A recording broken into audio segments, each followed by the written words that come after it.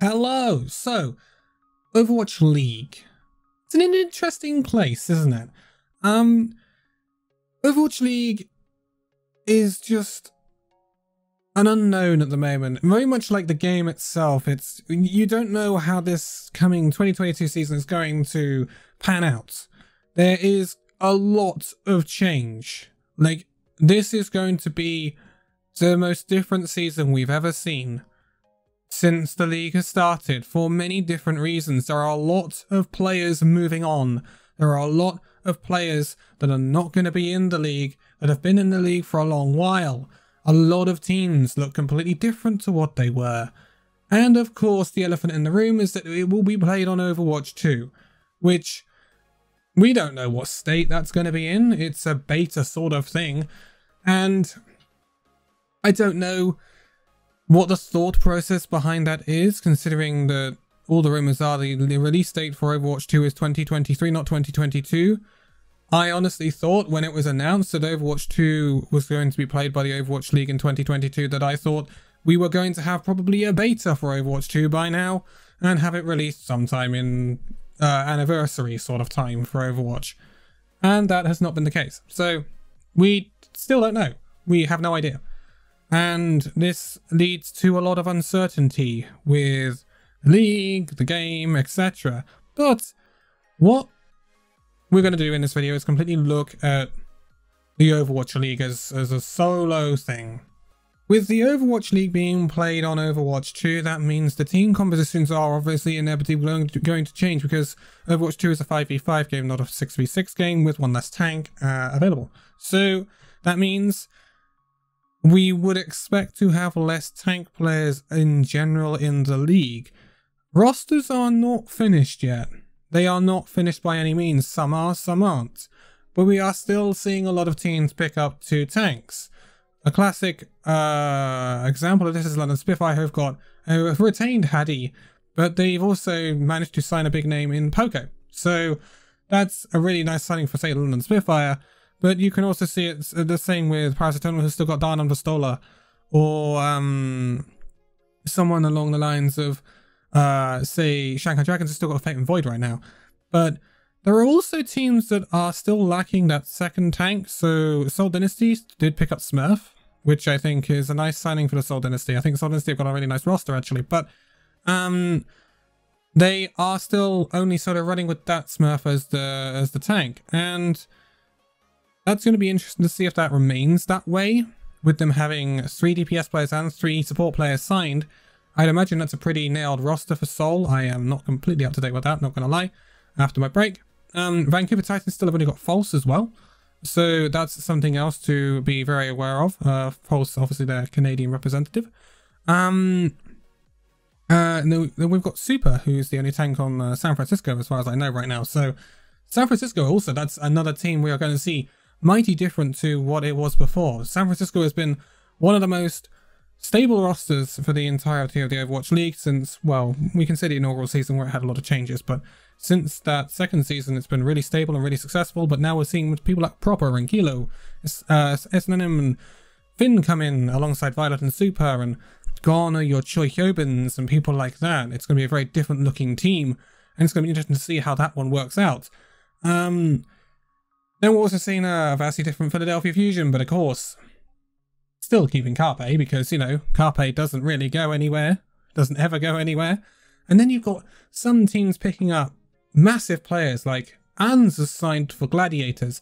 I actually think the Gladiators roster is stacked to the hilts for this coming season. Like you got Patiphan, you got uh, Kevster, Ans, Reina, uh, Space, Funny Astro is now at Gladiators alongside Human Scood.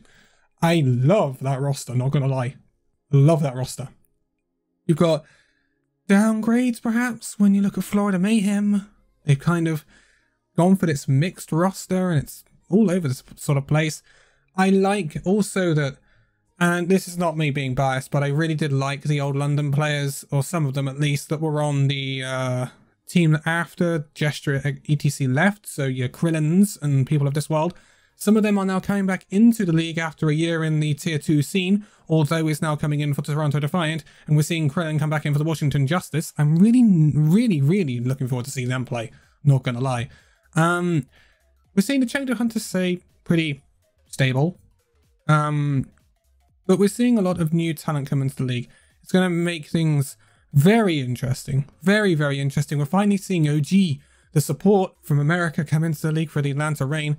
Uh, they also picked up Nero from the San Francisco Shock, which is a massive signing to play alongside Venom and Kai, who are other DPS players. I'm sure that is going to be one hell of a of a scene there. They've also got uh, Ultraviolet alongside OG. So, um, if you're a KKona clap, Atlanta Reign is probably your team. Not gonna lie, with Nero, Gator, Hawk, OG, and Ultraviolet, it's really gonna be a KKona clap team.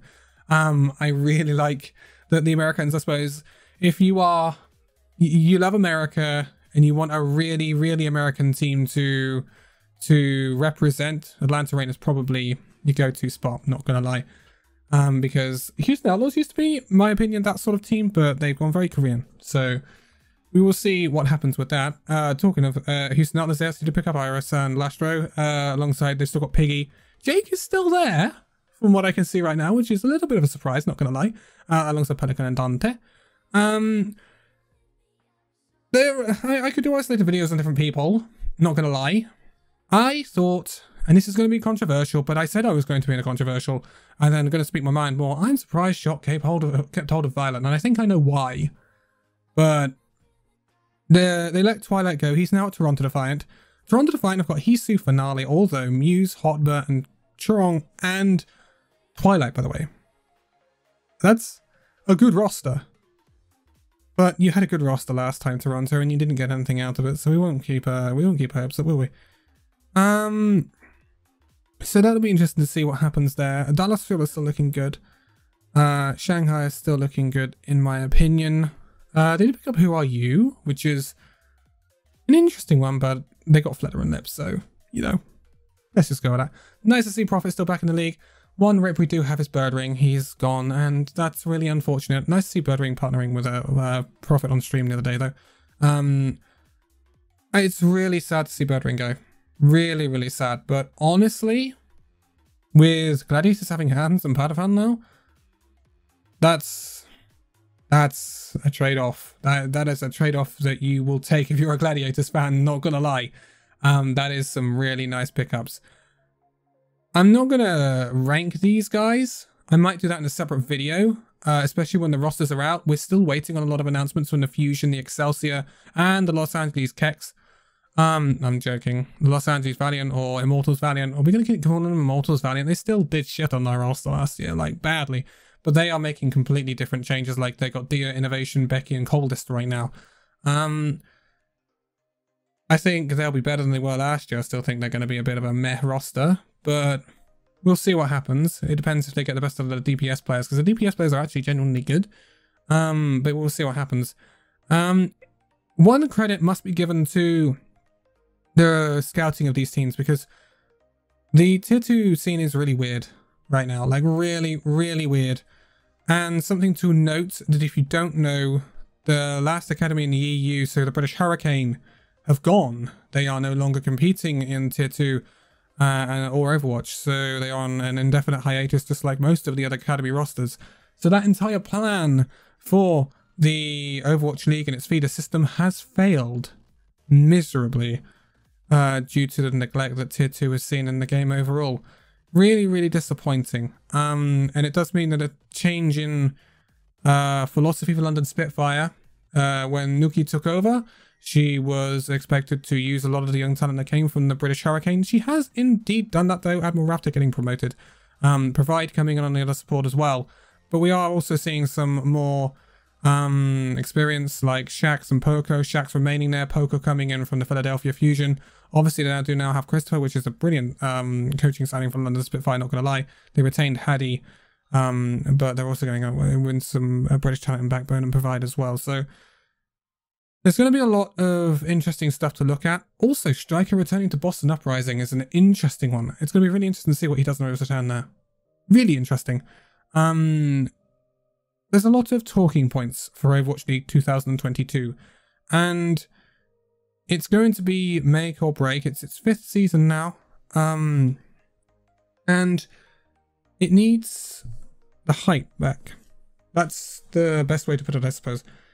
It needs hype back. It needs it needs this breath of life.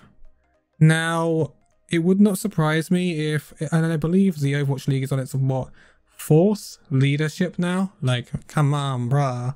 That's kinda weird.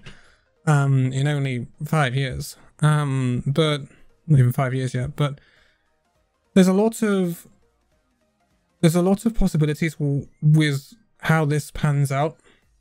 This can go okay. It can go really badly. And it could possibly kill the league. Or the Overwatch League sort of acts as a springboard. And I think this is what Blizzard's plan is and the Overwatch League's plan is. And that is why the Overwatch League we played on Overwatch 2 this year. Because I think they want to use it as a springboard, not just for the league, but Overwatch in general. Um, I think they're relying too heavily on it because the viewership is not what it used to be. But I think they're hoping to create some hype around the league with the inclusion of Overwatch 2, have everyone join in for those opening weeks, see what Overwatch 2 is like. So you've got people who are not usually watching the Overwatch League coming in to see exactly what this new game is like, this new look Overwatch, and how it's going to play out with all these changes, 5v5, new maps, uh, probably push being entered as well. Um, we'll see how that works. And then off the back of that, they're hoping by word of mouth, social media coverage, news coverage, uh, online, stuff like that. They are hoping that this will get the ball rolling for a positive Overwatch 2 build up. And we will see what happens because that possibly is something that might have been mentioned to the content creators in that little meeting that they had. Um, so that is something we will we will see what happens, I suppose. Uh, but that's kind of I don't know. I don't know what this video is. What it was meant to. What was meant to. I don't know. It was just meant to be an owl update video, I think. Honestly, I lost track. This is kind of what I want to do, though. Um, I want your opinions on this, genuinely. There's, it's a very big season for the Overwatch League. Um, there's a lot of spice around it, and there's going to be, it's either going to be a fuck up or it's going to be, uh, it's going to create an absolute ruckus. It'll be super interesting, but it's not going to hit the heights that the recent Valorant Champions has or anything like that. That show and that production was phenomenal. And there's one thing I said after that, and it's uh, the the Overwatch League, even from its very, very, very beginning, has a lot to learn from the way other things can, uh, other things are done. And I think, yeah, there's another video in what I want to say about the way in which Overwatch League is built, but it's yeah, a big season, and I want to see exactly how this goes down. I'm hyped to see Overwatch 2 in action. That's my biggest thing for this season. Not necessarily the teams, not necessarily the players, as much as I love to see Grillen back, uh, to see Patiphan back, actually coming back from Valorant as well, um, and see Dia on a team that he might actually just completely start on all the time. That's also really interesting. And to see new, young, really exciting talent like OG and Ultraviolet coming up um, not just that, but to see Overwatch 2 in action and see how it works is going to be a very big part of the season and a very big part to see if people actually get st stay tuned because we have seen so many things where Overwatch is horrible to watch. Um, Goats was a very big part of that, but will 5v5 not only change? This is a closing comment. Will 5v5 and Overwatch 2 not only change the way in which the game is played, but the way in which the game is watchable. Because if it makes the game extremely watchable, this could be the biggest season of the Overwatch League yet. And it could be a massive turning point for a lot of things. But that's copium. We are yet to see a lot of things. So I suppose we can ride the copium for now. It's a long time till the Overwatch League kicks off. And we will see what happens, but it's nice to be back. I hope you guys are doing well. Hope your new year is going well as well. Look out for more videos coming up soon, and I will see you in the next one. Bye bye.